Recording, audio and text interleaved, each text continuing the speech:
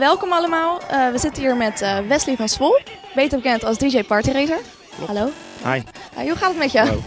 Ja, gaat erg goed. Met jou ook? Ja, gaat prima. Ja, ja het, het kan iets beter. Oh, Ik heb vertel. een klein beetje een keelontsteking, maar jij zei net al tegen mij voordat we begonnen dat het erg heerst.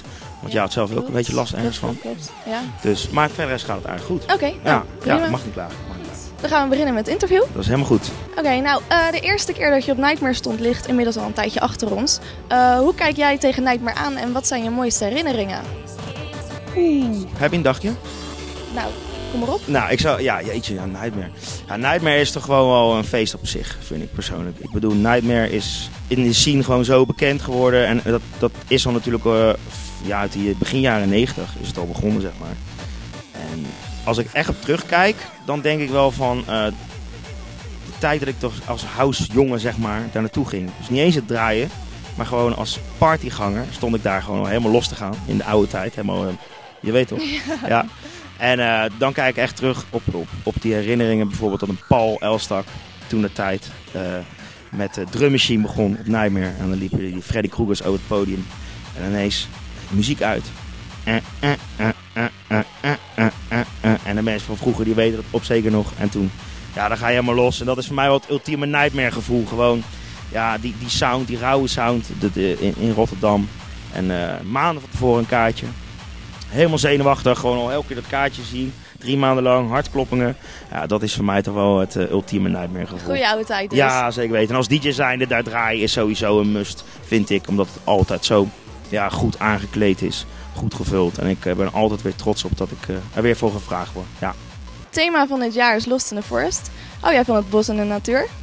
Het is heel typisch dat je mij die vraag stelt. Want voor mij is bos en natuur iets eh, heel erg belangrijks. Ik, eh, als je goed hebt opgelet, heb ik een paar jaar geleden heb ik een website gehad. Eh, dat was Party Races Hardcore Forest. En dat was mijn hele website was helemaal gewijd aan de natuur.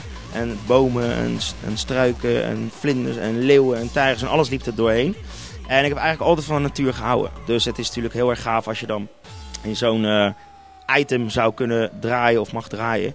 Want voor mij, ja, ik, ik ga het eh, een paar keer per jaar vakantie. Dan zoek ik toch altijd de landen op die een ander niet doet. Zoals eh, een Madagaskar of in Chili of ja, noem maar op. En dan ga ik altijd natuur in Costa Rica, Venezuela.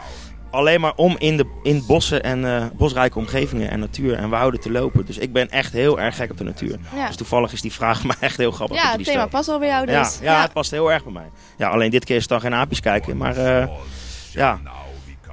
En ben je wel eens verdwaald in het bos? Ik kan mij eh, wel herinneren dat ik een keer heel diep het woud in ben gegaan in de Amazone. Eh, met een reis, met een, met een groepsreis. En dat wij op een gegeven moment er niet echt uitkwamen. Maar dat er toen op een boom werd geslagen, heel grappig verhaal. Met een soort knuppel. Sloegen ze op zo'n boom, zo bam, bam. Dat waren een soort indianen. Dan, er werd een soort geseind naar de andere stammen. En hun gaven dus zeg maar door, zeg maar, hoe je richting moet lopen. Het klinkt onwijs dat het niet waar is, maar het is, e- het is echt waar. En, en eh, dat is de enige keer dat ik echt in een bos verdwaald ben. En verder rest, ja, vroeger in de begin jaren 90, eh, als we wel eens rare weekenden hadden, dan verdwaalde iedereen wel eens in een bos. Maar eh, ja, Zoals je net vertelde, je hebt al heel veel van de wereld gezien. Stel je nou voor dat er een nieuwe Nightmare on Tour plaatsvindt in het buitenland. Eh, in welk land zou jij nog wel eens willen optreden? nou, daar kan ik denk ik heel kort over zijn. Ik heb, mag best zeggen dat ik best veel landen gedraaid heb, maar Australië ben ik, eh, ik weet dat de, de helft van de hardcore geweest en de andere helft niet. En ik zit helaas bij de helft die er nog niet geweest is. En ik zou er heel graag nog een keer willen draaien. Eh, het zit ook misschien wel in het schiet, maar ja, ik tot heden nog niet gestaan. Dus ik zou daar wel een keer een Nightmare willen doen. Ja. Nightmare in Australië. Dat Ja. lijkt me echt wel vet. Allemaal die kalkoenen allemaal met zo'n doodmasker op. lijkt me vet. Ja, Ja. En, eh, ja toch? En eh, dat is ook wel leuk met koalaberen met messen aan de, aan de poten en zo. Ja. wie weet. Ja, dat lijkt me wel top. Ja, dus daar zou ik wel een keer een, eh, een feestje willen doen. Oké, nou we gaan door. Terug naar het begin van je carrière. Hoe ben jij begonnen met, DJ, met DJ'en en wie waren jouw voorbeelden? Oeh, nou, eh, ik werd geïnspireerd door ja, DJ Gijs toen de tijd. Klinkt heel raar, maar DJ Gijs, Paul van de top. En, en, en door hun heb ik echt iets van, wauw, dat zou ik ook wel willen. Echte voorbeelden heb ik niet, omdat ik gewoon altijd mijn eigen ding wilde doen.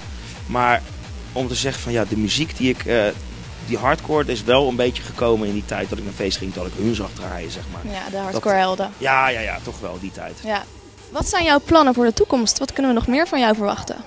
Ja, ik heb zelf niet echt Plannen. Ik weet, uh, nou, ik heb wel plannen, maar daar mag ik nog niet echt een boekje over doen. Open, over open doen, sorry.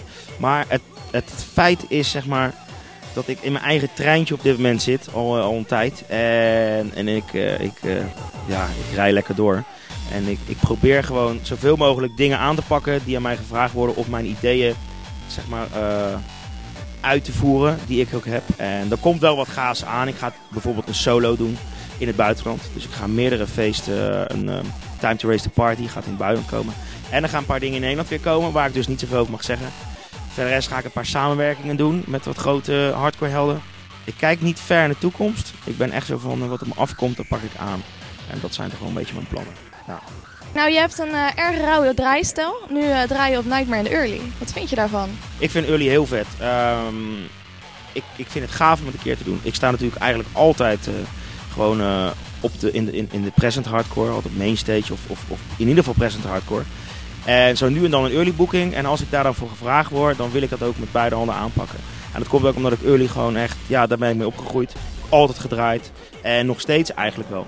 En de early is ook natuurlijk gewoon, ja, het begin van wat waar we nu zijn.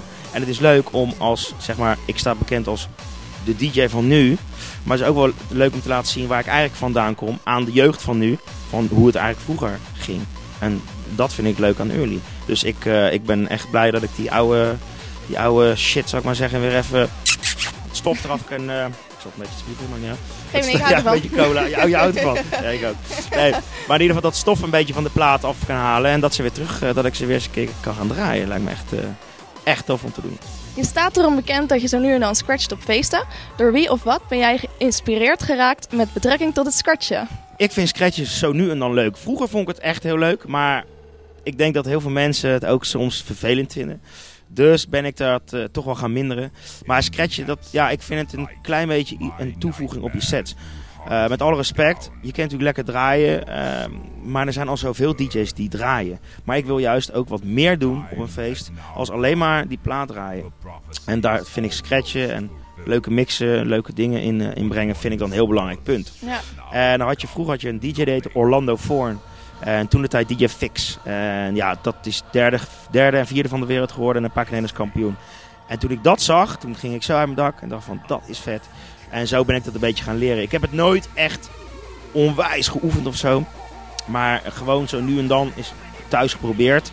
En uh, wat als ik echt vet geoefend had erop, dan uh, had ik het nog veel beter gekund natuurlijk. Maar uh, ik vond het gewoon leuk om een klein beetje een extraatje in mijn sets te doen. En dat, uh, ja, het is toch een klein een baby scratch noem ik het, weet je. Ja, het is dus, een leuke entertainment ja, voor het publiek. Ja, ik vind het in ieder geval heel leuk. Maar dat is wel door, door hem gekomen. Orlando voor die tijd was echt top. Maar in hardcore moet je eigenlijk toch wel meer beuken. Ja, en niet te veel stoppen. Tuurlijk. Ja, dat kennen we ook van jou, hè, dat beuken. Ja, dat is wel een beetje mijn ding, doorrammen. Ja, ja, klopt. Ja. Wat verwacht jij van de toekomstige stromingen binnen de hardcore? En hoe denk jij dat deze zich gaan ontwikkelen? Ik verwacht persoonlijk dat het voorlopig nog wel zo blijft, mainstream. En ja, van de toekomst, ik, ik, denk, ik denk dat het nog een tijd zo aanhoudt. Misschien dat het wat sneller gaat worden, omdat ik toch steeds meer DJ's ook zie dat ze sneller gaan. Maar ik denk wel dat het nog steeds uh, die stijl aanhoudt die je, ja, die je nu hebt. Dus gewoon echt wel uh, een beetje de handjeklap uh, gekkigheid. Ja, de vrolijke melodietjes. Ja, en, ja, ja, ja, ja. Wat ik overigens ook wel leuk vind, maar persoonlijk hou ik wel meer zelf van het... Ruige. ja, ja, ik heb respect voor alle stijlen, maar geef mij maar gewoon net even dat extra rachen eraan. Ja, ja even zagen. Niet? Ja, zeker. Nou mensen, 8 mei. Ik weet het, het is een beetje cliché. Be there, be square. Je kent hem wel natuurlijk. Maar je moet er gewoon aanwezig zijn. En ik hoop natuurlijk dat jullie naar de Early Rave komen om mij te zien. Keihard te zien hakken. De oude tijd, de oude gabbers van vroeger. Het gevoel door het bos heen. Pas alleen een beetje op op Koala Krugers. Je weet ze wel hè. Eh, hey jongens, zie je daar. Mazzel!